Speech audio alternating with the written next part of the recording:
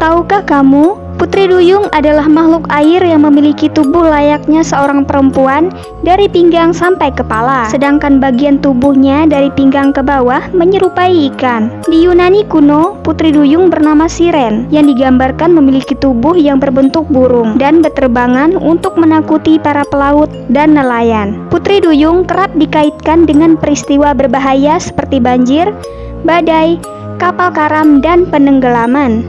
Namun, bukti keberadaan Putri Duyung tidak pernah ditemukan.